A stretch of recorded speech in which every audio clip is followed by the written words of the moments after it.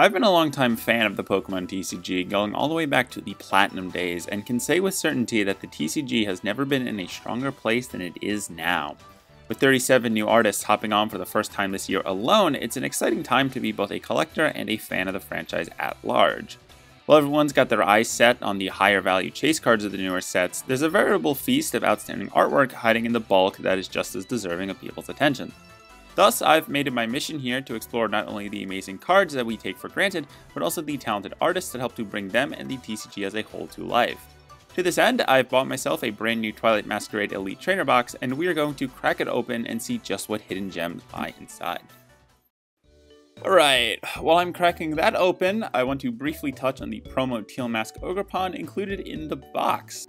Illustrated by longtime TCG contributor Kodama, I absolutely love the way this card portrays the mischievous Ogerpon as it runs through one of Kitakami's many rice fields. The harsh light of the setting sun pairs beautifully with the glint of the holofoil to give the whole card this mysterious feel that fits its subject matter perfectly.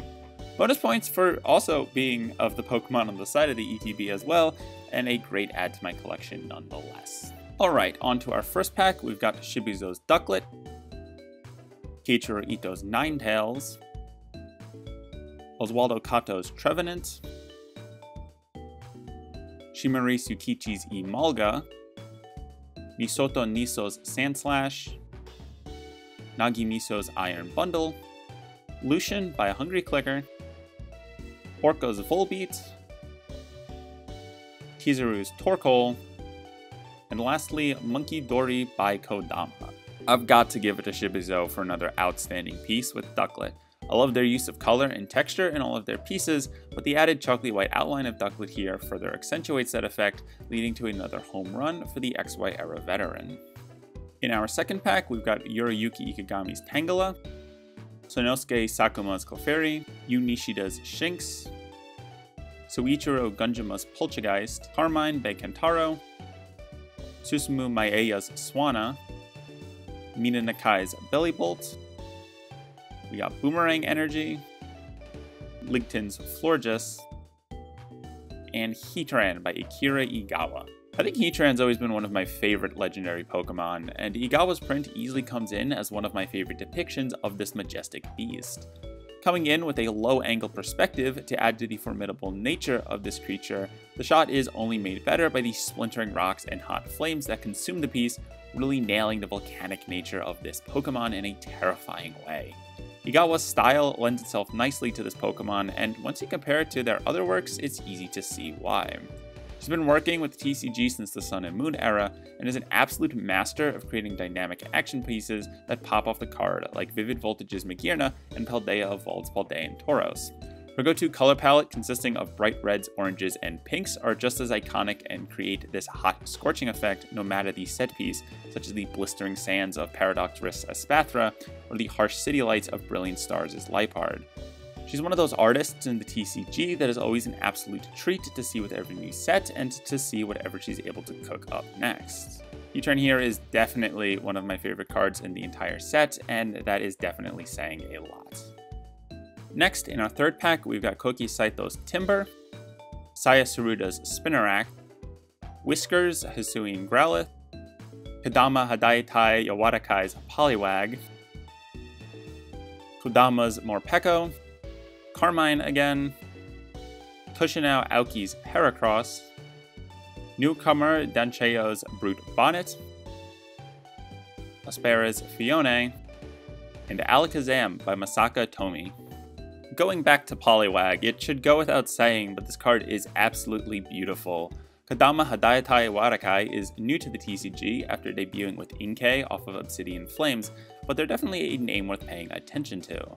Their oil painting style and heavy blues and greens come together here to create a really melancholic Poliwag, complete with a charming little reflection in the pond. Outside of Pokemon, their expert use of color and lighting becomes even more apparent, giving their pieces this heaviness to them that I'm excited to hopefully see more of in the future. For our fourth pack, we got Tomokazu Komiya's Venipede, Gapao's Aron, Tetsu Kayama's Sandshrew, Hayagonosuke's Chansey, another Iron Bundle, another Lucian, Ukubo's Darmanitan, a reverse holo of that same Venipede, Mingo's Floette, and Chandelure by Sino Misaki. This Floette card from Mingo is, I mean, absolutely stunning. From the vibrant flower pots in the back to the nice thick outline and white highlight on Floette itself, Mingo really knows how to make their prints pop even on such a tiny canvas. There are newer artists to the TCG, having debuted last set with Rabsca and also providing Slurpuff in this one. Their catalog is small, but I really think we'll see big things from them in the future. They were a second runner up in the 2022 TCG illustration contest, and browsing their Twitter shows their love for vibrant Pranks and blues on full display. Definitely a standout amongst this year's freshman class, and one I expect great things from moving forward. In pack number 5, we find Hitoshi Ariga's Frogadier, Orca's Illumise, Tiezaro's Applin, Akira Egawa's Nosepass, another Darmanitan, another Carmine, another Swanna, Whirlipede by Koroguchi, a Reverse Holo Aron, and Hearthflame Mask Ogerpon EX by 5ban Graphics. I have to say that I've really enjoyed the new wave of EXs, and Ogerpon here is no exception. The imposing visage of the mask blocks most of the frame as crystal shards shoot off in a blur in all directions. Add on top of that the extra shine from the holofoil pattern, and you've got yourself a nice shiny addition to the collection. Moving on to our sixth pack, we have Mosho's Chimecho, Jerky's Chimchar, another Whirlipede, Karada So's Crawdaunt, Kuroi Mori's Leafeon, Hasano's Revavroom, Toriyufu's Rillaboom, Tomomi Ozaki's Grookey, a reverse holo Sand Slash, and Walking Wake by Kawayu.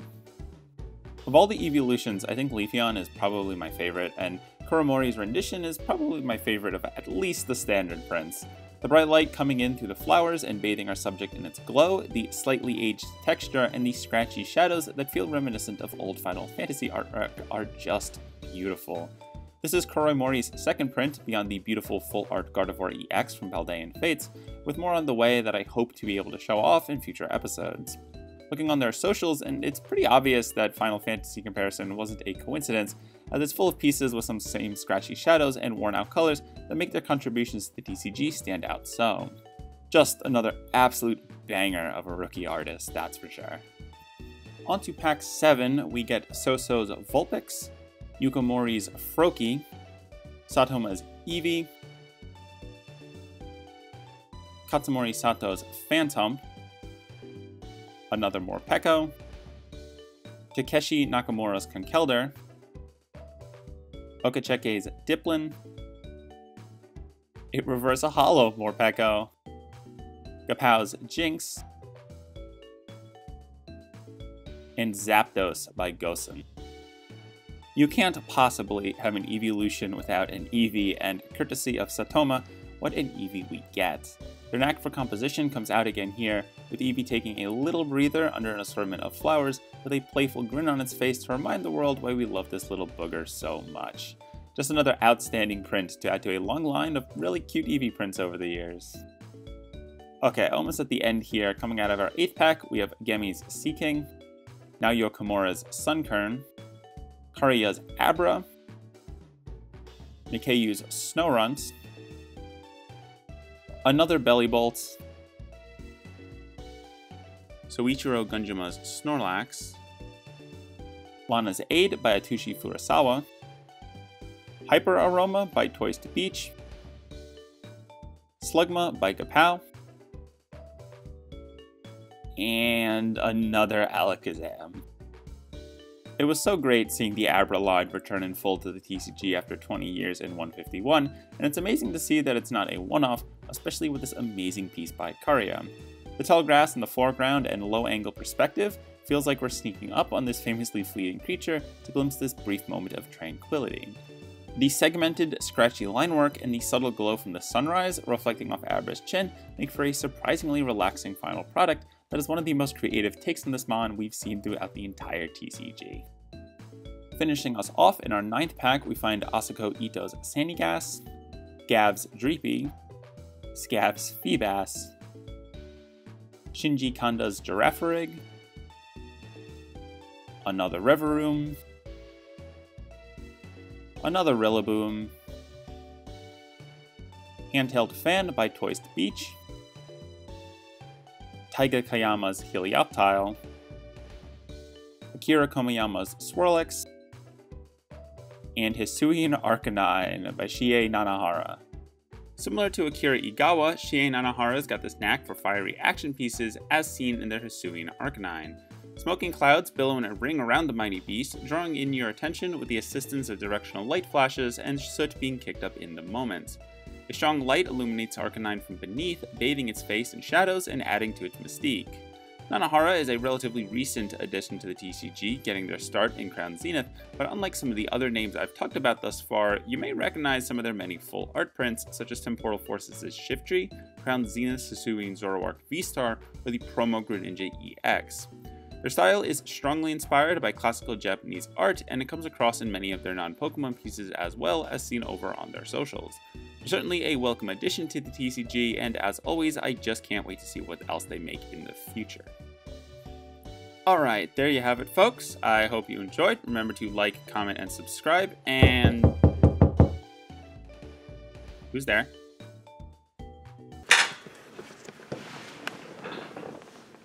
Hello?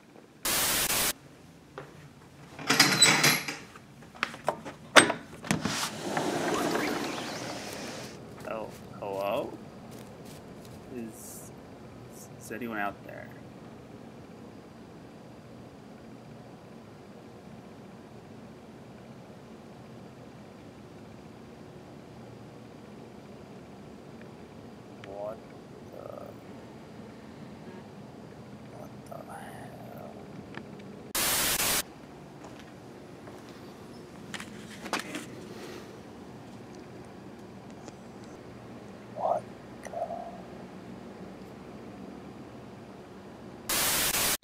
Well, that was weird, but since I guess we've got one more pack, we might as well open it.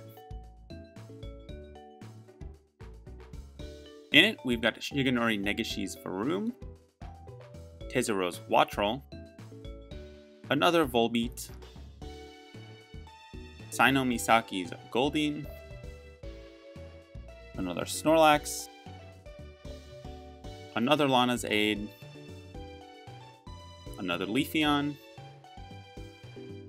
Suboteri's Dipplin, Mingo Slurpuff, and a full art Dragapult EX by 5ban Graphics. Ignoring the fact that Dragapult here is actually kind of meta relevant and thus does fetch a good penny, I feel like a lot of the more standard full arts get ignored these days, and that's kind of a shame. Just like with Hearthflame Mask Ogerpon from earlier, the shine of the holo foil really captures the crystalline feel quite well on this one. I also think Dragapult is one of the best Gen 8 Pokemon and one of my favorite pseudo legendaries, so I'm excited to be able to add this one to the binder. Alright, with that, we reached the end of the video, and here's a simple graphic with all the cards that we pulled today. I apologize for the late upload, but I'm hoping to improve my setup going forward and get these out on a more reasonable time frame. If you want to see me cover more sets in the future, like and subscribe, and if you liked any of the artists I featured here today, I'll have links down below to any of their socials that I could find, so you can go follow and support them over there. I hope you enjoyed this little experiment of mine, and until we meet again, remember to stay salty.